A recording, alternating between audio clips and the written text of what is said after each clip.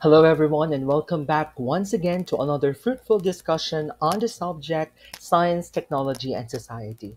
This time, we'll be talking about the topic biodiversity and healthy society. So, when we talked about biodiversity, it is actually essential for all the processes that support life here on Earth, including, of course, us humans. Without wide range of animals, plants, and microorganisms, we cannot have healthy ecosystems. And of course, we rely on our ecosystem to uh, provide us with the air we breathe and the food that we eat. So, people should value nature itself. And on this topic, we will be discussing and uh, we will be having an in depth discussion about so many components of biodiversity and, of course, uh, the healthy society. So the first question here is what is biodiversity? Now, according to Quinto and Nieva, biodiversity is the variety of life present in an ecosystem. Now, when we talk about biodiversity, it's all the different kinds of life you'll find in one area. Now, this includes a variety of animals, plants, fungi, and even microorganisms like bacteria, protozoa, etc. That, of course, makes the natural world. Now, biodiversity is the richness of biological vari- variation. It exists at the levels of genetics, species, uh, species richness, and community diversity on landscapes and seascapes. Later on, I'll be discussing uh, these different types of biodiversity. And biodiversity is important to the survival of humans and, of course, our economy, and also uh, to all other species. Therefore, biodiversity also has inherent value. Now, uh, one sub branch of biodiversity is actually agrobiodiversity. Now, what's the difference of agrobiodiversity to biodiversity? Now, again, biodiversity is necessary for the growth of crops. Meanwhile, agrobiodiversity is the variety and variability of animals, plants, and microorganisms at the genetic, species, and ecosystems level that sustain the ecosystem structures functions and processes in and around production systems and that provide food and non food agricultural products and became the result of this necessity. Now, I've mentioned earlier that there are three types of biodiversity, namely genetics, species, and ecosystem biodiversity. So let's discuss them one by one. Now, when we talk about, uh, let's go first to the lowest level, which is actually the genetic diversity. This is actually the foundation of the biodiversity. Now, on the genetic diversity, I want you to take note that individual variations among organisms of the same species happen in this level. Okay, and as well as variation between populations that uh, due to local conditions and, of course, adaptations. Now, genetic diversity refers to individual variations among organisms. Let me magnify that of the same species, okay, as well as variations between populations uh, that uh, that is due to local conditions and adaptations. Now, these variations among individuals are passed from one generation to the next. Kaya nga nandyan yung term na genetics, no? And when we talk about genetics on a simpler manner, now it contains or it talks about the genes. And remember, on your genes, you can find the traits and the different characteristics of an individual. Let's say, for example, for human beings, that's where you can find the color of your eyes, the type of hair that you have, the color of your or the type of skin that you have, even your height, no, uh, your intelligence. All of those are found on your genetic composition. Now, on this level, this actually causes the variations, yung pagkakaiba-iba natin. No? Sa, kaya nga no uh, human beings or, or no two individuals are alike. Kahit pa sabihin natin twins pa yan, kahit pa identical twins pa yan, or kung anumang klaseng twins yan, meron at merong variation or pagkakaiba because of the genetic makeup of the organism or because of the genetic makeup of that particular individual. Now, let's move on naman sa species diversity. Sa species diversity, this uh, is a variety of species of particular uh, found in a particular region and either in an ecosystem or the entire biosphere. Now, I want you to take note that the species is actually the basic unit of biological classification. Now, in species diversity, this refers to the variety of species within a particular region, either in an ecosystem or the entire biosphere, as I've mentioned earlier. So, so um, let's say for example, no, uh, merong iba't ibang klase ng uh, let's say cats, okay? May iba't ibang uh, variation or species ng cat. Okay, meron tayong aspen, meron tayong um, Persian cats, no? So those are the different species of cats. Ganon din sa dogs, di ba? Merong Siberian Husky, may mga poodles, uh, may mga pug, and etc. So, hindi porket sinabi natin cats ay pare-pareho lahat yan. And, don't, uh, and, and trivia lang, no? Um, parte ng cats ang mga lions and tigers and cheetahs. No? Even the panthers are part of the cat family. So, uh, on this particular level, the species diversity, no, ang pagkakaiba-iba nila is on the type of the species, which is actually the basic unit of the biological classification. Now, usually, okay, this is used as a measure of how diverse certain uh, ecosystems are. And since a species is the basic unit of biological classification, uh, later on we'll be talking about endangered and extinct no species. So you will be we will be differentiating the two in a while. Now, moving on, okay, we have what we call the ecosystem diversity. Now, in the ecosystem diversity, this refers to varieties of ecosystems and the interactions of the species uh, in their ecosystem. So, the variations of topographical and climatic conditions contribute to ecological diversity. Now, if you will notice, no, maraming pagkakaiba sa type of organism found on a specific ecosystem. Let's for example, sa desert, ibang mga organisms and iba din yung type of adaptations na meron sila, particularly because organisms tend to adapt no, in the conditions of their ecosystem. Iba din ang makikita ninyo mga organisms or iba din yung characteristics na meron sa mga organisms that are found in cold areas, like for example sa Antarctic So makikita ninyo compared to sa tropical areas like in the Philippines, uh, mas maninipis yung balat or yung hair na makikita sa mga uh, animals found in tropical areas like in the Philippines. Syempre, napakainit no sa ating bansa for example because the Philippines is an example of a tropical country. Then, kapag pumunta ka naman ng Antarctica, na makikita niyo yung mga polar bears na ang kakapal ng kanilang mga balat, yung mga wolves, etc.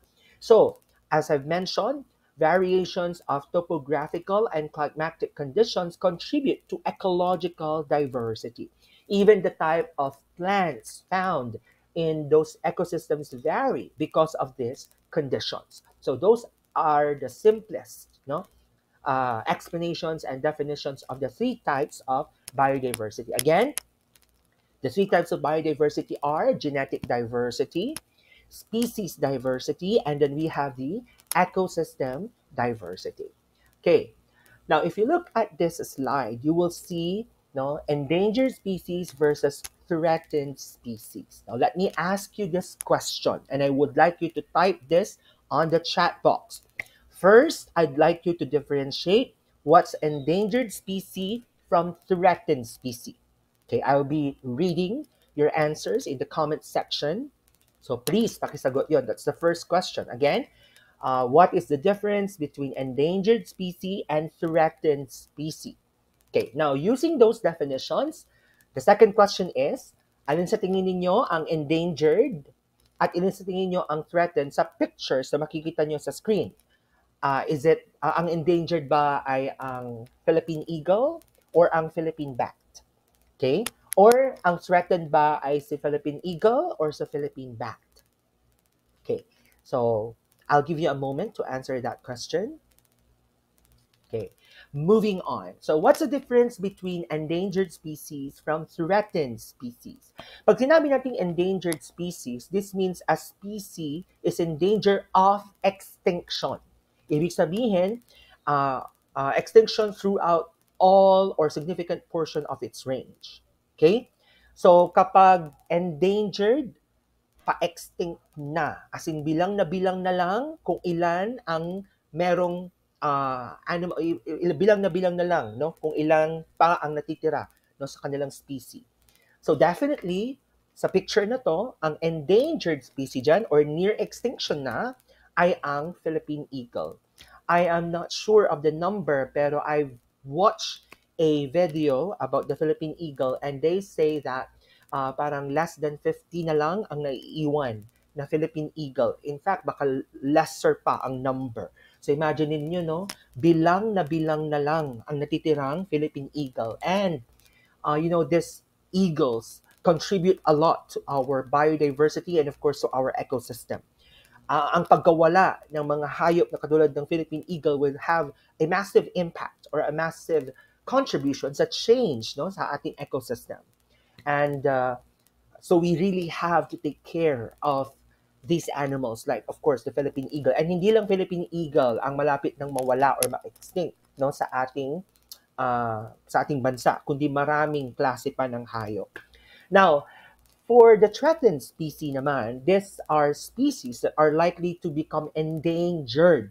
So papunta na sila sa endangered zone or endangered um, level uh, within foreseeable future. So ibig sabihin nito, pag wala tayong ginawa sa pangangalaga, pagprotekta sa hayop na to, sooner they will be a part or they will belong to the endangered species. Ibig sabihin, uh, malapit na silang mawala. Okay, and of course, uh, sa dalawang picture na yan, ang uh, endangered or ang threatened species, I should say, ay ang Philippine bat. Again, pag sinabi natin endangered species, near extinction na lang. Near extinction na. Malapit na silang mawala. Kapag threatened species naman, they are uh, about to join no, the endangered species. Kapag wala tayong ginawa. Okay. Now, according to U.S. Endangered Species Act, ito yung definition ng dalawa, just for a recap. Endangered species is in danger of extinction throughout all or a significant portion of its range. And pag sinabi naman natin threatened species, those that are considered likely to become endangered in the future. Okay. So, now I've mentioned example na endangered species, yung Philippine eagle. Of course, isa pa yung panther, if you're familiar with that cat, yung black na, na cat, no? um, similar to tigers and uh, uh, cheetahs, pero ang kulay nga lang niya ay black. So, endangered na rin siya. Well, threatened species, ay example nito is yung Mindanao pygmy, yung bat na pinakita ko sa inyo kanina, that's actually the Mindanao pygmy fruit bat. Okay? So, endangered na siya. Right? Now, um, in order to protect our biodiversity, our ecosystem, okay, um, the United Nations crafted several protocols to call the attention of all the countries to do something uh, about, in, uh, in terms of protecting and, of course, taking care of our environment, of our ecosystem and biodiversity. So, ano ba yung mga threats na nagko-contribute or what are the threats that leads to the destruction of our biodiversity? Of course, one is of what the habitat loss and destruction. So one major cause of the extinction of many animals is of course yung habitat loss. And ano ba yung mga reasons for habitat loss? Of course, nakikita niyo yung one is industrialization. Although, sabi nga natin, uh, everything in this world has two sides. Just like a coin, meron yung two sides, my good and bad. Okay? So, although industrialization contributes to boosting our economy and, of course, improving our life, we create more technologies, we create more machines to help our lives or to make our lives better. But at what cost? Okay? And we all know that um, yung pagtatayo ng mga iba't ibang subdivision, ng mga ibang factories, planta, and whatever uh, industrial structures and uh, uh, mechanisms or, or machineries contribute to habitat loss and destruction. We also know that you know, we utilize our natural resources. And for example, yung paggamit ng natin ng mga papel, okay? Or ng iba't ibang mga construction materials, we get that from our environment, particularly sa mga puno. Okay? So, uh, every time we cut a tree, we destroy uh, not only a single life, but you know, it has a ripple effect. No, malaki ang epekto niyan. And you know, uh, because of habitat loss and destruction, maraming mga hayop, maraming mga organisms ang nawawalan ng food source, nawawalan ng tirahan. And this actually leads to them being endangered. Okay? Of course, part nito is alteration in our ecosystem. Okay?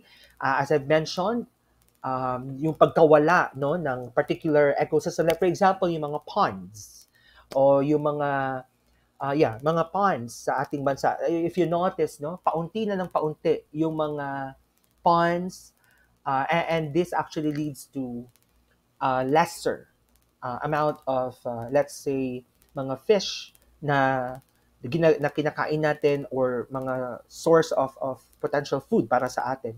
Um, also, no, yung maraming mga palayan, fields are converted into many subdivisions. And uh, because of this, not only the fields but also some mountains are converted into um, to uh, subdivisions or areas na nagiging tirahan nating lahat because of the increasing population.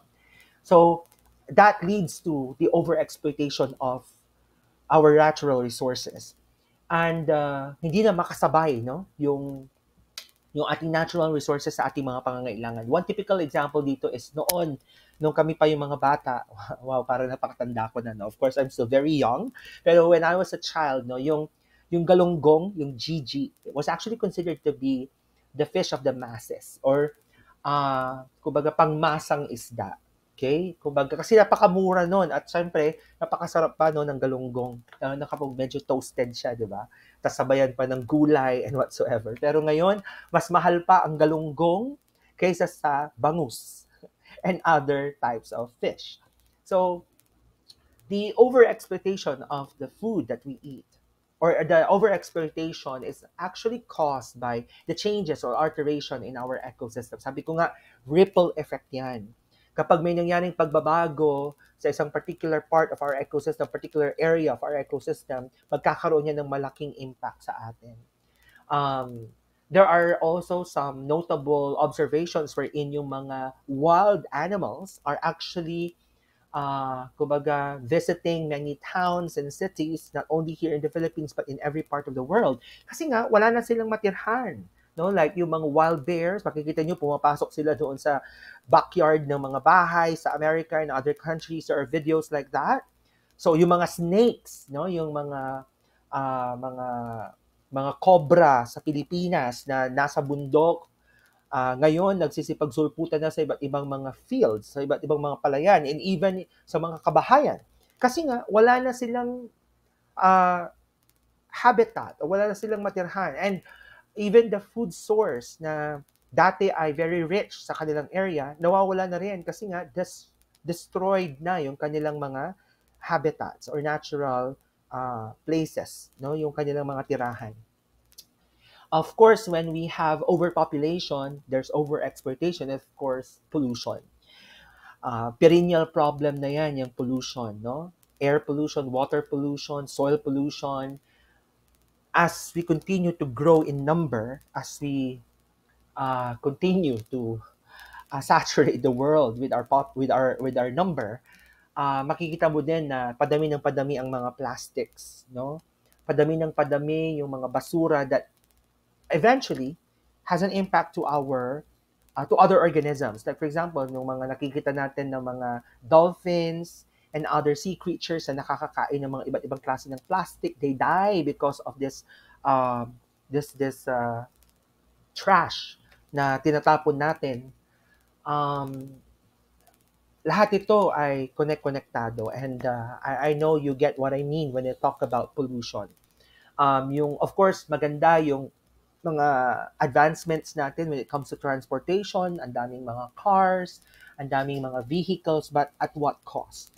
Kaya andyan yung fossil fuels na ginagamit natin to produce different kinds of oils and kerosenes.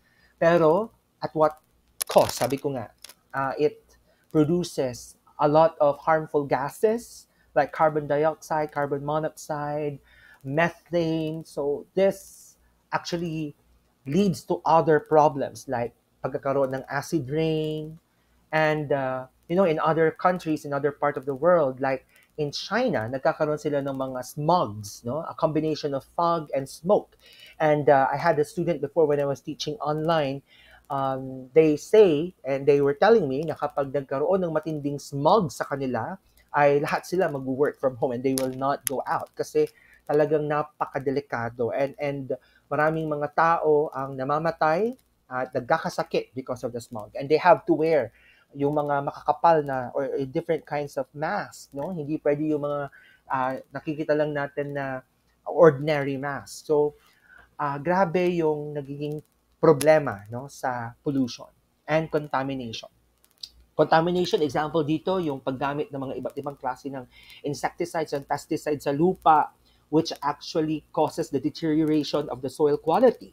And because of this, no, apektado din pati yung ating mga pagkain, yung mga pananim, kumukonte and and uh, mas marami yung napuproduce din iba't ibang klase no ng mga pests because of the uh, adaptation of these insects to this particular chemicals and uh, course, stronger insects would mean stronger pesticides and whatnot. Kaya, overall, all of these lead to uh, the greatest problem that we have right now, which is global climate or okay, global climate change. Um, grabe ang init, grabe ang mga bagyo. In fact, no, yung mga thunderstorm natin ngayon was actually considered to be uh, a typhoon on our uh, back when I was when we were still young, no? yung mga signal number, yung mga thunderstorm natin, nasa signal number 2 or 3 na namin noon. Pero ngayon, it's an ordinary thunderstorm. Kumbaga, it's just branded as thunderstorm. Makikita nyo din, grabe yung mga pagbaha. Kasi uh, natutunaw na nga yung yellow no, sa Antarctic Ocean. Tumataas yung sea level. You know, there are many parts of our country like the Gupan City that is already below sea level. Kaya nga kapag konting ulan, konting uh, magdagkaroon ng thunderstorm, lubog na ang Dagupan City. And uh, makikita, ayaw ko kung nakabisita na kayo sa Dagupan City ngayon, pero uh, meron doong portion, kung makikita ninyo yung drainage na ginagawa nila ay kasing taas ng tao. No? Uh, and in fact, sa akin, parang nasa dibdib ko ata yung taas niya. And they were saying na uh, yung taas na yon ay magiging level na ng, ng daan. So, kay, walang choice ang maraming mga buildings or maraming mga naninirahan doon kundi itaas din no yung yung kanilang mga kabahayan and uh, kumbaga this if this continues kapag patuloy nating nasisira ang ating uh, environment ang ating ecosystem then uh, we can expect greater consequences and uh, uh, greater casualties uh, on our part now as i've mentioned earlier in order to protect our environment our biodiversity the United Nations created protocols you know, on biodiversity. And one of these protocols is actually the Montreal Protocol. Now, the Montreal Protocol, finalized in 1987, is a global agreement to protect the stratos, uh, stratospheric ozone layer, or simply just the ozone layer. Okay, the main purpose of the Montreal Protocol is to help our ozone layer recover and to protect our ozone layer. Okay, uh, saan ba pinoprotektahan ng Montreal Protocol ang ating ozone layer? This is uh, phasing out of uh, phasing out of the production and consumption of ozone depleting substances or what we call the ODS. Ano ba itong mga examples ng mga ODS na meron tayo?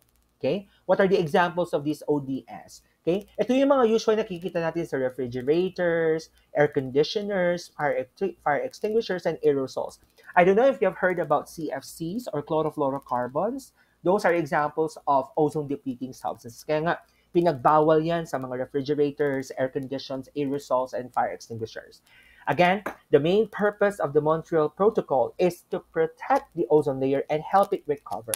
Now, according to the recent news in Nairobi, in Japan, January 9, 2023, they were saying na uh, nagkaroon na no, ng pagbabago at nag-recover na ang ating ozone layer, uh, helping avoid global uh, increase in global temperature of 0.5 degrees centigrade.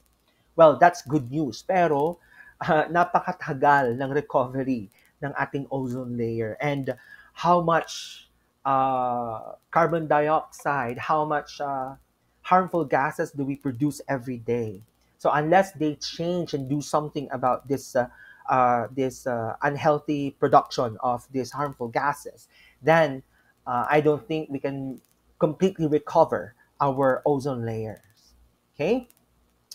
Now, next one is, uh, by the way, uh, I have uh, a, a question to you guys uh, about the Montreal Protocol in relation to Montreal Protocol. Okay. Um, I, I'm pretty sure you've heard about the harmful gases. Tama? Yung mga iba't ibang uh, harmful or greenhouse gases that contributes to the depletion of our ozone layer. Okay, please take note of this. The the of all the greenhouse gases, ang pinakamarami na napoproduce is actually water vapor. Yes, you've heard me right. Yung water vapor ang nagko-cause or, or a major contributor sa pag-init or pag-trap no, ng tem- pag, pagtaas ng temperature sa ating atmosphere. Now remember, this greenhouse gases actually serves as a barrier na instead na makalabas yung yung init no sa ating atmosphere, natatrap ito. So instead na uh, lumabas no yung mainit na temperature na yon, nagba-bounce back siya pabalik sa atin and this actually leads to the melting of the ice and of course increased temperature. So ano yung most prevalent uh, greenhouse gas? The answer is green. Uh, the answer is water vapor. All right. Now, for the Kyoto Protocol, this is actually an international treaty which extends the 1992 United Nations Framework Convention on Climate Change. So, in short, the Kyoto Protocol operationalizes the United Nations Framework Convention on Climate Change by committing industrialized countries and economies in transition to limit and reduce the greenhouse gases. Earlier, I've mentioned about the greenhouse gases. Ulitin ko ha, pag Montreal Protocol protects and recovers our ozone layer. Now, pag Kyoto Protocol, ang focus naman niya ay reduce the greenhouse gas emissions. And I've mentioned that the most prevalent or yung pinakamarami na greenhouse gas found in our ecosystem or our atmosphere is actually the water vapor. Okay, now, um, the Kyoto Protocol was an international agreement that called for industrialized nations to actually reduce the greenhouse gas emissions, particularly yung mga human-made carbon dioxide emissions. And uh, I've mentioned some examples of these gases earlier. Okay, Last one is the Cartagena Protocol. The Cartagena Protocol is an international agreement managing the movement of living modified organisms. Remember, meron tayong tinatawag na GMOs or genetically modified organism. Don't worry, that will be explained on a separate topic kasi meron tayong uh, another discussion for the genetically modified organisms. Okay, Ano ang aim ng Cartagena Protocol? It aims to protect nature from the potential risks posed by such organisms by establishing procedures in many countries which actually used it. And of course, uh, the public should be informed whether certain food or certain product is actually GMO. Kaya makikita nyo sa sa ano ba tawag packaging no ng mga products na ito that there are GMOs or genetically modified organisms, so that you'll be given um, you'll be given uh, the right, the freedom, whether to choose to consume it or choose to not consume it. Okay. So that's the Cartagena Protocol. Ulitin ko, Montreal Protocol focuses on the ozone layer. Kyoto Protocol reduces the emission of harmful greenhouse gases. And of course, the Cartagena Protocol, which actually limits or which actually uh, manage the movement of living modified organism or genetically modified organism. All right. So that's all for our topic biodiversity and healthy society. You know, we only have one planet, we only have one earth. It is our responsibility to protect and care for it. Um, tayo din ang magsasuffer, tayo din ang mahihirapan. You know, yung mga simpleng bagay tulad ng tamang pagtapon ng basura, or less consumption of plastics, this actually creates a massive impact to our environment. More so, you know, yung uh, pagkontrol din ng ating population, education is a must. We need to be educated. And of course, the next generation should be educated and should be involved in protecting our biodiversity. So mahalin natin ang ating uh, ang ating nag-iisang planet and uh, let's all do our part in protecting and taking care of our biodiversity. So thank you very much for listening. I'll see you in our next topic. Bye bye.